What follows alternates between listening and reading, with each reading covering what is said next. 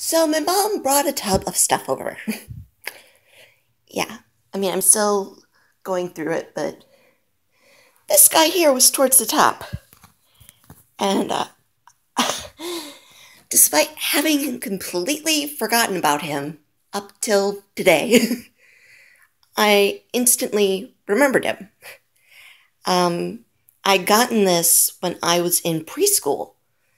And I was like, wait a minute, wasn't this a puppet? So I am feeling around, and sure enough, hole's right there in his butt.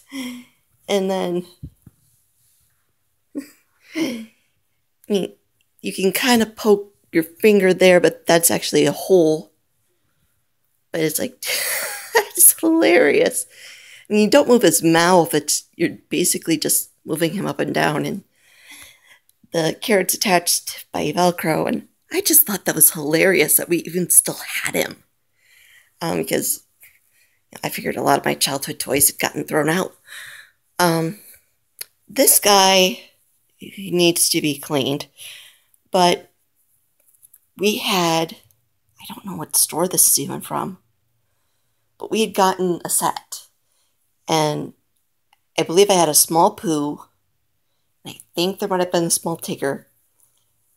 But Piglet was probably my favorite at the time because he, was big.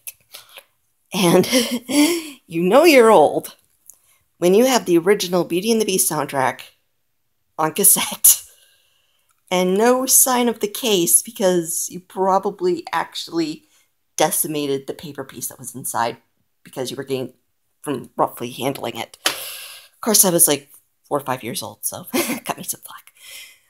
Um, but I thought that was kind of interesting that, you know, these were even in there.